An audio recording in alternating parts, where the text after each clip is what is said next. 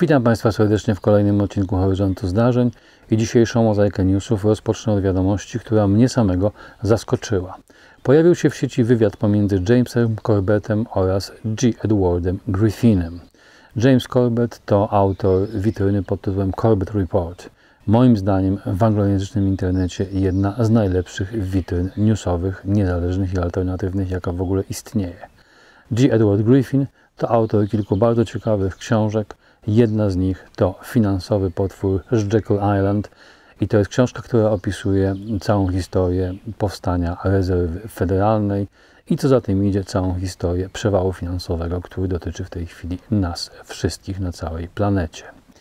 No i teraz tak, G. Edward Griffin jest generalnie oczywiście odsądzany od czci wiary jako zwolennik różnego rodzaju teorii konspiracyjnych. Przypisuje mu się także udział w e, teoriach konspiracyjnych dotyczących zabójstwa prezydenta Kennedy'ego, bo przecież Państwo wszyscy wiecie, że e, prezydenta Kennedy'ego zabiła Jackie Kennedy. Przecież to widać ewidentnie na e, filmie Zaprudera i wszelkie inne teorie konspiracyjne nie mają tutaj żadnego sensu.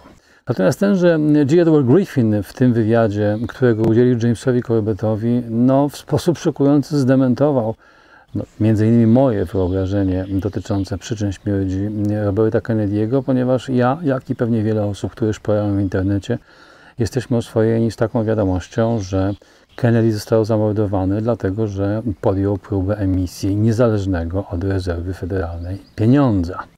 No i rzeczywiście jest tak, że na rynku amerykańskim ukazała się w 1963 roku krótka emisja banknotów o niskim nominale, mm, które były sygnowane napisem, że banknoty to są własnością rządu USA, a nie własnością Banku Rezerwy Federalnej, co było dotychczas obowiązującym napisem na wszystkich innych banknotach. Pan Griffin postanowił zbadać ten, e, ten mit, można powiedzieć, to przekonanie, czy też tę legendę miejską, w której wszyscy żyjemy. No i wyniki tego e, jego badania są dosyć dosyć zaskakujące. Przede wszystkim przeanalizował treść słynnego Executive Order o numerze 11110, na który się wszyscy powołują w sieci, że rzekomo to był ten Executive Order podpisany przez Kennedy'ego na kilka dni przed jego e, e, śmiercią, który to e, Executive Order miał wprowadzać właśnie ów niezależny pieniądz na rynek. No, okazało się, że niczego takiego w tym Executive Order nie było. Ten Executive Order dotyczył przekazania części uprawnień prezydenta USA na sekretarza skarbu i te uprawnienia dotyczyły prawa do podjęcia decyzji o tym, że rząd amerykański zgłasza zapotrzebowanie na dalszą emisję pieniądza.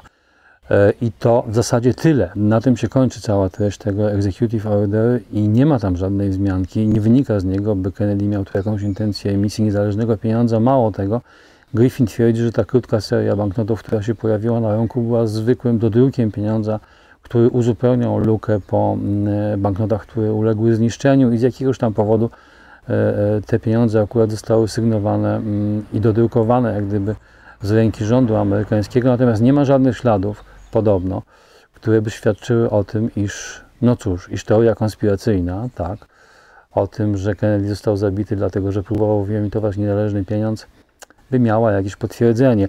Tam w tym wywiadzie zresztą jest kilka takich kwiatków, ponieważ okazuje się, że słynna wypowiedź Kennedy'ego, którą on wygłosił podobno na Columbia University na 10 dni przed swoją śmiercią, w której to zapowiadał, że poinformuje Amerykanów e, o, o czymś strasznym, co się dzieje w tej chwili w Ameryce. No cóż, ta wypowiedź też okazuje się, że ona nie miała miejsca, chociaż ona funkcjonuje w postaci cytatów w internecie e, tu i tam.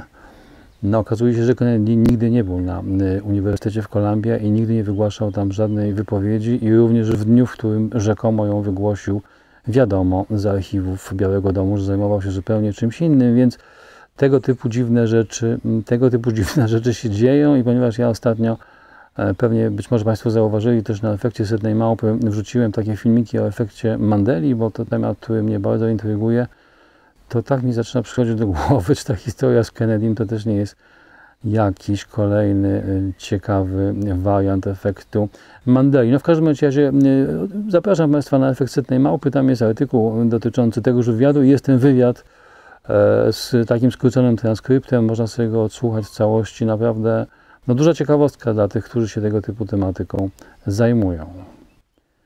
Julian Assange, jak pewnie Państwo pamiętacie, od ponad 4 lat schronił się w ambasadzie Ekwadoru w Londynie, gdzie y, uciekał przed y, szwedzką prokuraturą, która miała go zatrzymać z tytułu fikcyjnych zarzutów o molestowanie seksualne i o gwałt. Siedem lat trwała walka prawna o to, by doprowadzić do wyjaśnienia tych zarzutów i zakończenia śledztwa w tej sprawie. No i po siedmiu latach szwedzka prokuratura raczyła podjąć decyzję, że umarza śledztwo w sprawie ostatniego z tych zarzutów, zarzutu o gwałt.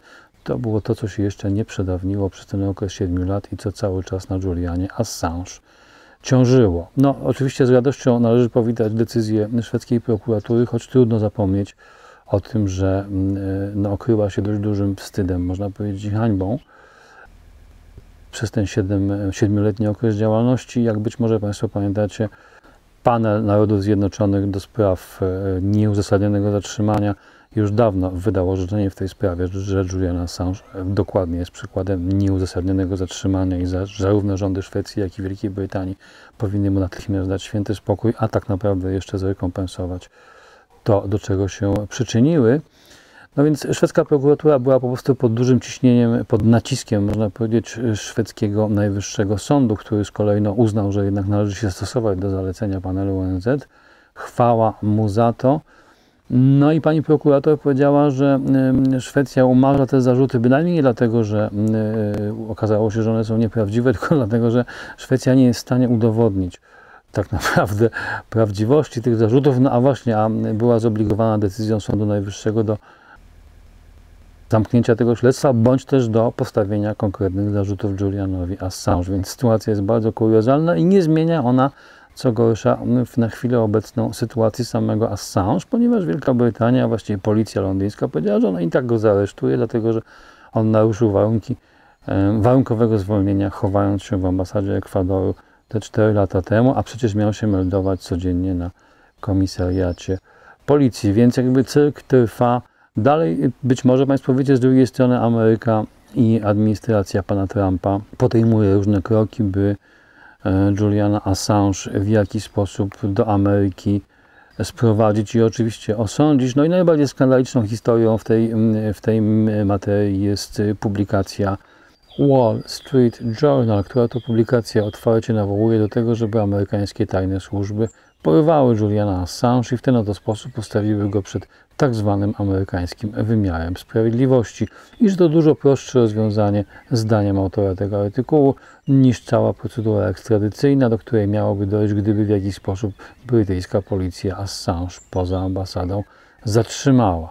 No, można pogratulować Państwu z Wall Street Journal.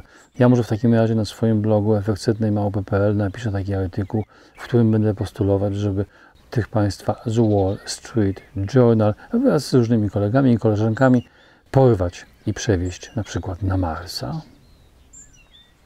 Sate Rich. Mówiłem Państwu o tej historii w poprzednim odcinku horyzontu to ten młody człowiek z konwencji demokratów, który prawdopodobnie został zabity za to, że udostępnił Wikileaks te 30 tysięcy maili, które się w dużej mierze przyczyniły do przegranej Hillary Clinton w wyborach.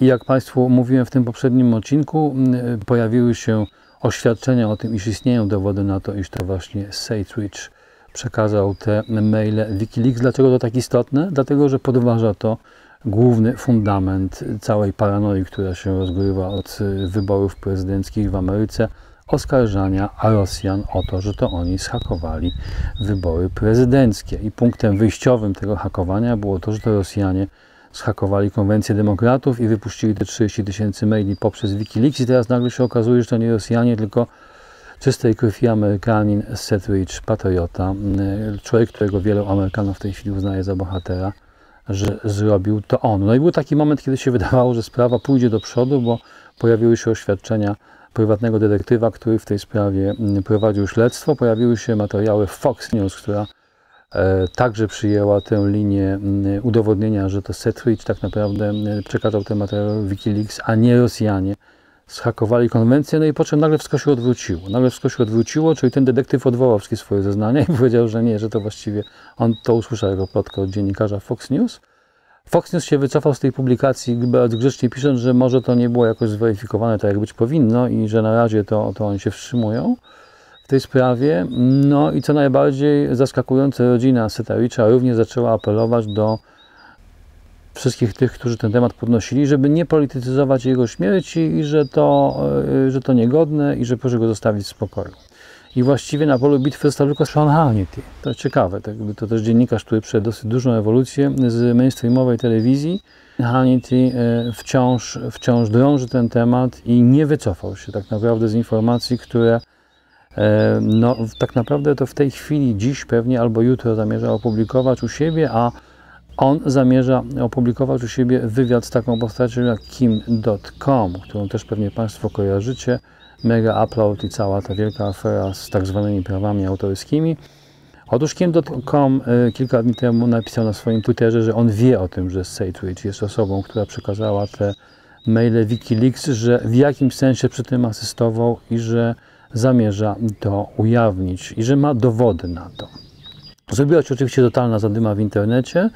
Wszyscy czekają na te dowody Kim.coma. Jak na razie Kim.com zaproponował, że jest w stanie przyjechać do Ameryki i złożyć stosowne zeznania i dowody przedłożyć amerykańskiemu kongresowi. Oczywiście, jeżeli to się odbędzie w trybie publicznym. No, zobaczymy, co na to kongres amerykański. No, wszystkim zobaczymy, co się pojawi w tym wywiadzie, którego ma udzielić Kim.com panu Hannity. I to są na razie ostatnie dwie osoby, które się nie wycofały z tej całej zadymy o to, czy to Rosja, czy to nie Rosja tak naprawdę zaingerowała w wybory amerykańskie. No, zobaczymy, co będzie dalej. No i żeby się oddalić od Ameryki, to y, do nas, u nas 3 czerwca będzie Międzynarodowy Dzień Protestu przeciwko obowiązkowym szczepieniom. No i to temat, y, który na pewno nie jednego z nas tak naprawdę w sensie rodzinnym, czy też w sensie naszych przyjaciół dotyczy, więc informacja na pewno warta tego, by ją rozpowszechniać dalej, co też czynię 3 czerwca w Warszawie y, oficjalna polska demonstracja zacznie się o 12 na Miodowej pod ministerstwem, którym zarządza niejaki Konstanty Radziwił, czyli tak zwanym Ministerstwem Zdrowia. No, temat pewnie wielu z Państwa znany. Organizatorem konferencji jest Stowarzyszenie Stop NOP, czyli Stop y, Niepożądanym Odczynom Poszczepiennym. No, tak naprawdę można powiedzieć wiodąca w Polsce organizacja, która ten temat y, y, wstrzymania przymusu szczepień gdzieś tam prowadzi i pilotuje. No, serdecznie Państwa namawiam, by mieć ten temat na sercu i na uwadze, a jeśli, jeśli Was jakoś dotyczy, czy, czy też dotyczy Waszych najbliższych, to 3 czerwca o 12 na Miodowej przed oknami pana Radziwiła. Jest też druga możliwość wsparcia tematu, czyli podpisanie międzynarodowej petycji, która zbiera powoli i mozolnie swoich zwolenników. Ta petycja ma finalnie znaleźć się w Brukseli i domagać się ogólnoeuropejskiej debaty nad tematem obowiązku przymusowego, przymusowych szczepień. Link do tej petycji i tudzież informacje dotyczące tej najbliższej 3-czerwcowej demonstracji znajdziecie Państwo chociażby na moim blogu efektsetnejmałpy.pl Sztuczna inteligencja. Kiedy w zeszłym roku SIDOL przegrał z modułem sztucznej inteligencji pod tytułem AlphaGo, jeden z jego kolegów, który nazywa się chyba Kije, nie wiem po prostu zupełnie jak się czyta jego nazwisko, Młody, 19-letni mistrz w Go napisał na swoim Twitterze, no niemożliwe, dawajcie mi tę maszynę. Ki Ye jest osobą numer jeden, jeśli chodzi o rankingi mistrzostwa w Go, parę punktów przed Ki Sidolem i rzeczywiście doszło w tej chwili do rozgrywki pomiędzy AlphaGo i Ki Ye. No więc Kije podchodził do tej rozgrywki w sposób bardzo zdeterminowany. Powiedział, że z całą pewnością nie da się ograć maszynie i że wie, jak to zrobić, by sobie z nią poradzić. W chwili, w której nagrywam Państwu ten horyzont, jesteśmy po pierwszej z trzech rozgrywek i pierwszą z tych trzech rozgrywek Kije przegrał. Co prawda przegrał bardzo niewiele, bo przegrał tylko ilością połowy punktów, więc przegrał minimalnie i w zgodnej opinii obserwatorów był bardzo trudnym przeciwnikiem dla modułu AlphaGo. No, tyle, że moduł AlphaGo bardzo lubi trudnych przeciwników, ponieważ uczy się od nich prawdopodobnie dużo więcej niż od łatwych przeciwników, więc co będzie konsekwencją tej sytuacji, no zobaczymy już w najbliższych dniach. Już w najbliższych dniach, dlatego że za chwilę się e, rozegra mecz drugi i trzeci. No, nie wiem jak Państwo, ja trzymam kciuki za Ki Je. I tym optymistycznym akcentem chciałem się pożegnać. Dziękuję bardzo i do zobaczenia następnym razem.